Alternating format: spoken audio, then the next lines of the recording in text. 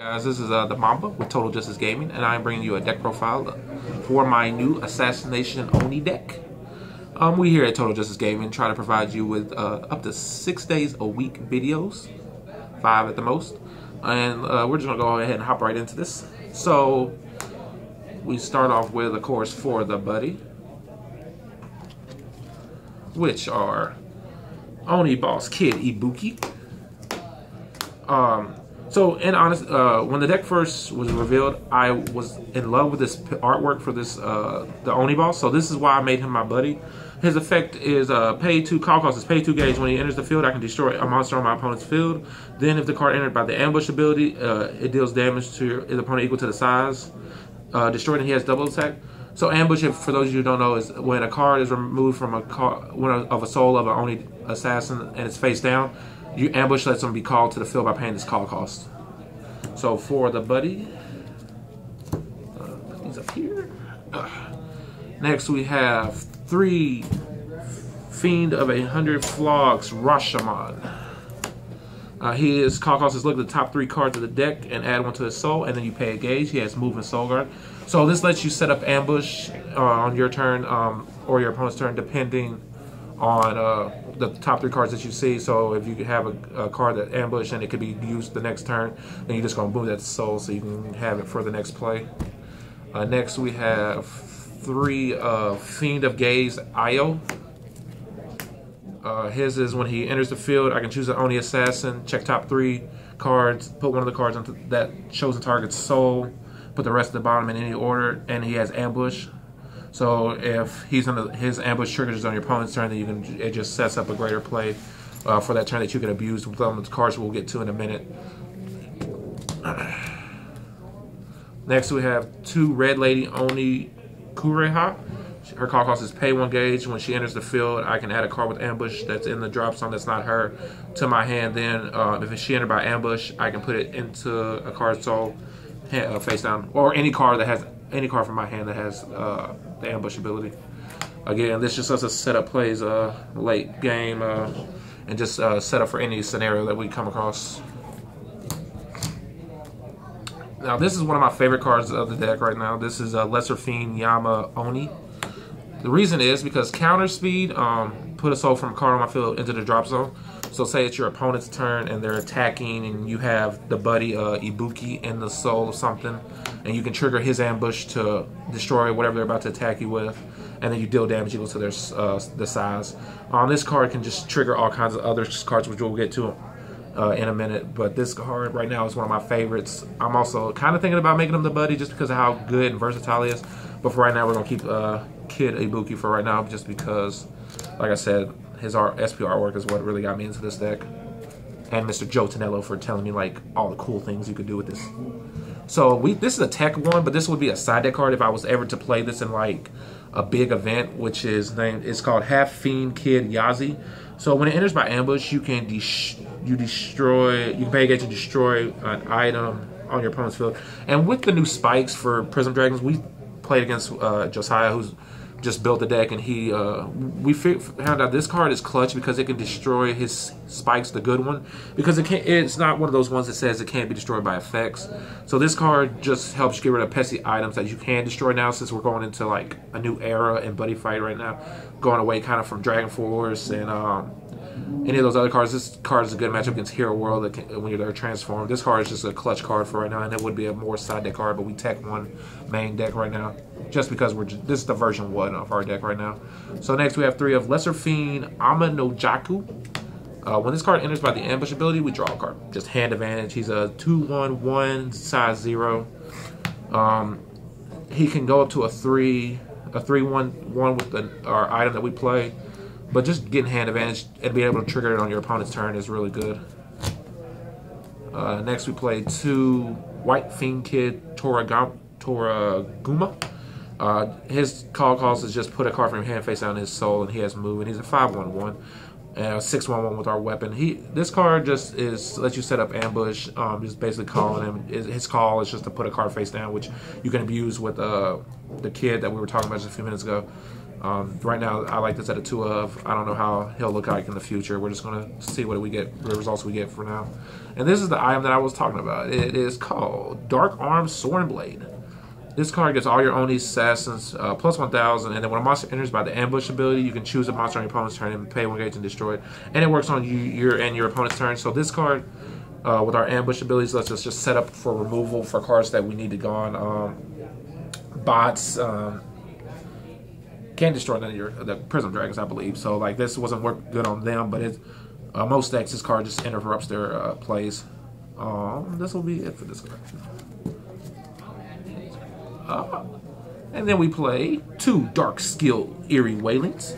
It is the impact for the deck.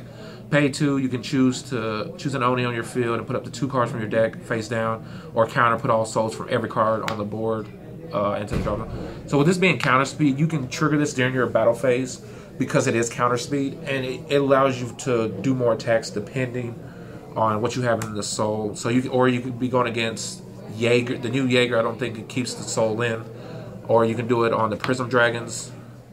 It's and just get rid of their whole soul. This card is interesting because we're back into the normal impact era right now. For mostly for the new decks that you see that that you'll see on our channel uh, later this throughout this week, that they play the, these new impacts. So impact monsters are not really important right now. There's some decks that will still play them because they're so good, like the ball, um, and some of the other Katana World stuff. But this right here with the impact being counter speed is a great card. It just helps us set up so many beautiful plays, which hopefully you'll see uh, later on this week as well.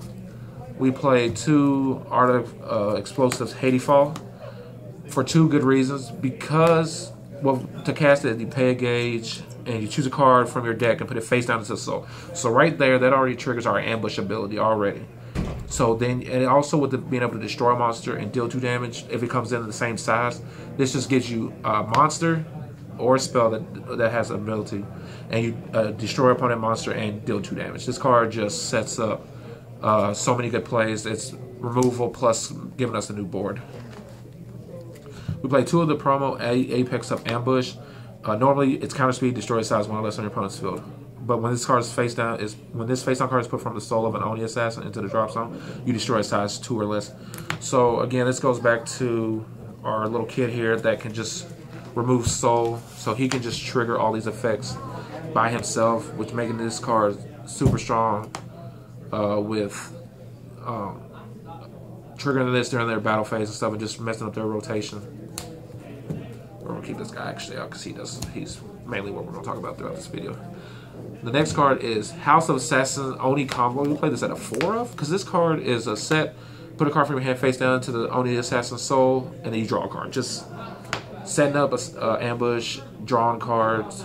This card is just really good. Uh, I would never play this at less than a four of right now because until there's a better card than this. But this card right now, one my, is really good. Uh, we'll play three of the Dual World Banquet of the Unrighteousness. Uh, you get to choose two, one or two effects. You can look at the three cards on the top of the deck and put one monster from among them into your hand, and you put the rest in the drop zone. Or you can put a card from your drop zone face down into a solo monster.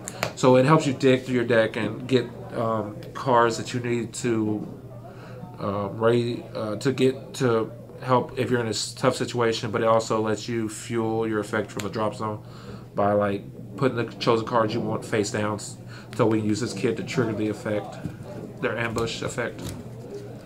Uh, we take one Demon Way of Gembu. If you don't have a monster in the center, nullify the attack. Uh, then the other one we use is going to be uh, four Midnight Bodyguards. Uh, this card says you can, uh, if you only cast it if you have an Oni Assassin on the board, you nullify the attack, and you can put a, uh, so you nullify regardless, but the counter, then after that is you may put a soul from a card on your field into the drop zone. If you do, you gain a gauge and gain a life. So this card uh, helps trigger the same way the kid does, trigger our ambushes on our opponent's turn. Uh, so we can call out our big boss Ibuki or uh, any of the other ones that do things to help us out of a situation. This is basically, uh, this is what something Joe told me the other day. It's basically just like you activated my trap card. It's basically just like you respond to everything and just build a board on your opponent's turn while you're limiting their uh, what they can do. Next is uh, three of the underhand mean sneak attack. um, just take a soul out of a card on your field to cast it, and you destroy card, any card you want on your opponent's field. The card is basically free. You're actually, better yet, you're plusing at least two, depending on what you remove from the soul, depending on what that card does. You're basically uh, plusing two off this one card. This card, this deck is basically just gives you answers to everything. And then we play three Optics Operation Shrouded Straw Coat. This card just uh, you have one or two abilities of counter speed. Uh, next time you build damage, reduce it by two, or you can put a soul from card on your field into the drop zone if you do put the top card of your deck into your gauge. Again, this card just helps you set up ambush on your on opponent's turn. This because the way I built my deck is just basically you want to ambush on your opponent's turn as much as possible and limit their ability to play the game on their turn, just messing up their attack order and whatnot. And then we play th uh, three under the tables. This card just lets you gain two gauge and you gain life. But if it's when it's, this card is face down, and put from the soul of an assassin on your field to drop zone, you get three gauge. I mean, this is my gauge engine for the deck. Three, it's been working fine for me right now. I may cut one for one more unrighteous banquet, banquet for the unrighteousness. But for right now, this at three of has been working great for me. And then this is my favorite card, one of my favorite cards in the whole entire deck, and it is four Hiding Oni. So this card says you get to put a soul from a card, uh, put a soul from the card on the field into the drop zone, and uh, you gain a gauge and draw two cards. This is probably one of the best draw engines and one of the best draw engines I've seen in the game. Because first, usually you have to pay some kind of cost. This is basically just doing what this deck wants to do and remove their soul to plus off of it. But then you get a gauge and then you draw two more cards. Like this the draw and this is like draw engines uh, this is something I you know uh, Joe's probably mentioned one time that we talked about. Any card the uh, buddy fight that lets you draw without being at like six life five life is amazing but usually the be- one of the best one was pay to life and draw two that is divine dragon creation but this one you don't neg yourself one way or the other because you're going to most likely plus off whatever you just remove from the soul because you put it there yourself and then you get to you gain so you're plusing four You'd plus five if it was uh, Ibuki or the Red Lady because you'd get another effect that would have benefited you. But this is plus three just in itself because you gain a life and you draw, or is it gain a gauge? Gain a gauge. You, I'm sorry, you gain a gauge and you draw two. So this card just it's the best, one of the best draw engines I've seen. And with that being said, guys, this has been the Mamba's Oni Assassination Ibuki deck. Uh, please like and subscribe and leave any comments if you have any questions. And thank you.